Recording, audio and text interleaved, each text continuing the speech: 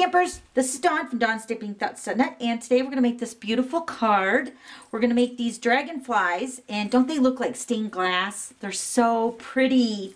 So let me show you what we're using. We're going to be using the Detailed Dragonfly Thinlits. We're going to use these two dragonflies. And then we're also going to use the Dragonfly Dreams stamp set. We're going to use this Thanks for the Smile and everything else. Very sweet.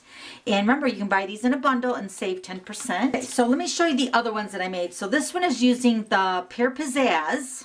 And then this one is using the Wisteria Wonder.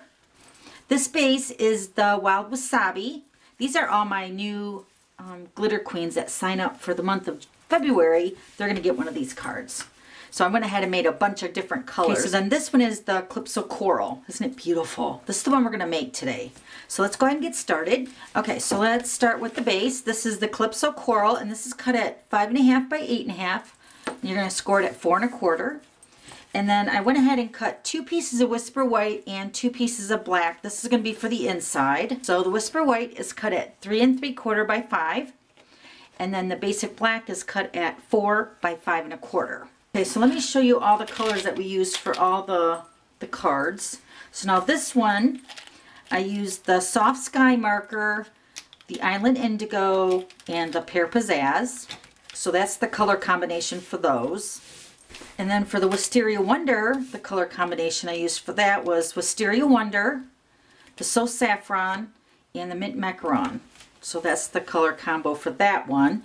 And then this one for the Calypso Coral one that we're making right now, I used the Calypso Coral marker, the Pink Pirouette, and then this one is the Peekaboo Peach. So those are the colors we're going to use for this one. All right, so let's go ahead and stamp first the greeting. So I'm going to be using the Memento ink. I'm going to go ahead and stamp this greeting. And the bottom. Thanks for the smile and everything else. Isn't that sweet? Love it. All right, so now we're going to grab our Big Shot. And then the basic black, we're going to cut out two of the dragonflies.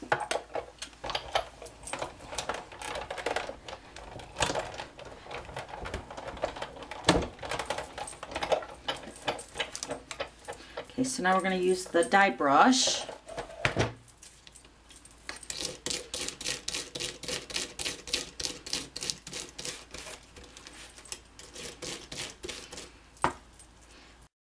That works really nice with the dragonfly.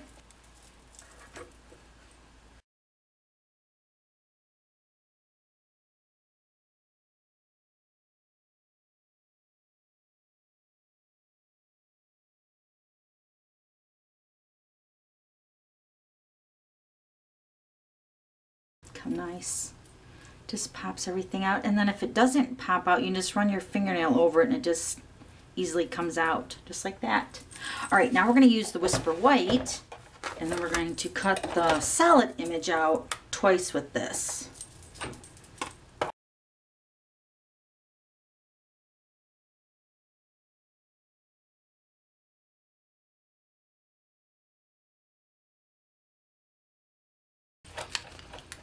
Okay, so let's move the big shot. Okay, so I wanted to share this really amazing tip that I got from my friend BJ. So this is just a container and I have a sponge, a wedge of a sponge. And we're going to use the liquid glue. This is the multi-purpose liquid glue. And I'm going to use the lid like BJ did. So she squeezed the glue right on the top of the lid. You don't need a lot. And then we're going to grab our silicone craft sheet. And with the sponge, you're just going to dip it in the glue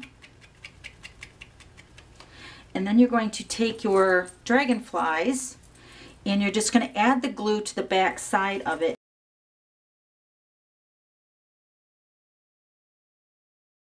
So you just pounce that onto the dragonfly and it just gets right where you need it, the glue, when you're using this sponge like that. Oh my gosh, it's so awesome.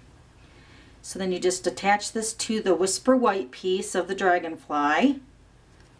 And you still have time. It's very forgiving, so you can still have time to move it around. So look at that. Perfect. So I'm going to take the other one, do the same thing.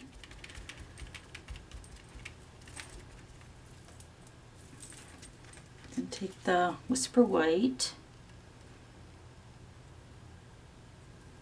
Just layer it onto the Whisper White Dragonfly.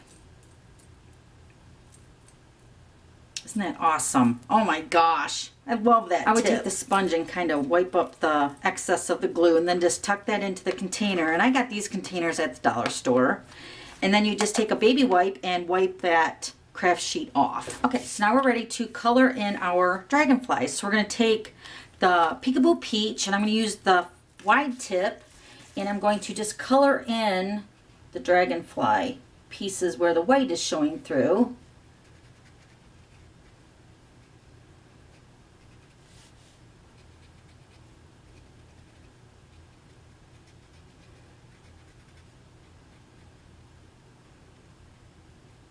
do the other one.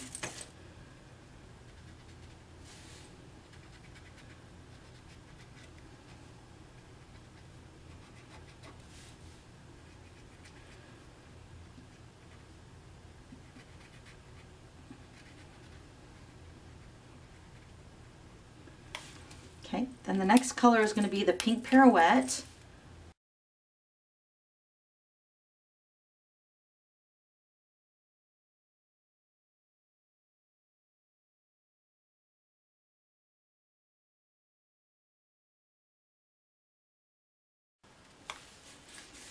Okay, then the last color is going to be the Calypso Coral.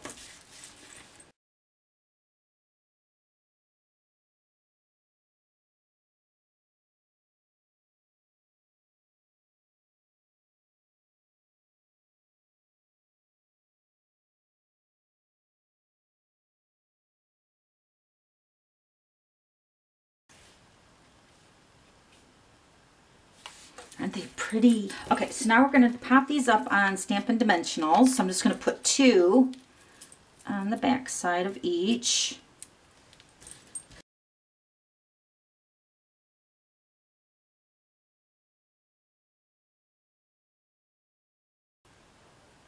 Been making these all day. My fingers are gummy from the glue.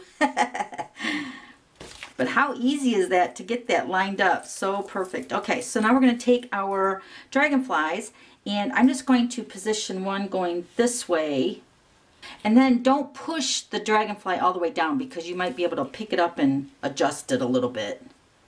I think right there looks pretty good. Let's see what it looks like on the basic black. Yeah, that looks really pretty. All right, we're just going to attach these two pieces together see if I wanted to still pick that up and move it, I still had a little bit of time before it really sealed down with the dimensional. Okay, so now we're going to put this onto the front.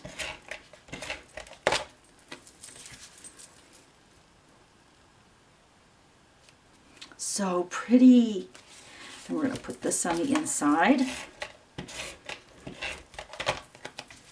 Okay, so now we're going to add some Wink of Stella to the dragonflies. When I was doing my Facebook Live with my team and we made this card together, the, the Wink of Stella really makes the dragonfly so much prettier.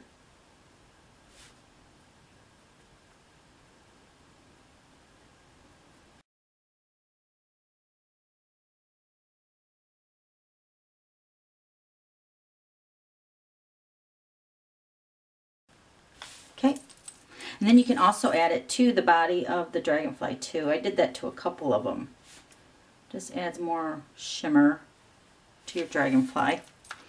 So hopefully that's showing up. Look how pretty that is. Oh my gosh. So then here's the other one. And then here's the Wisteria Wonder. And then I made two of the Pear Pizzazz. And then this one is with the Wild Wasabi cardstock. Okay, so that's it. Thanks for stopping by. We'll see you later. Bye.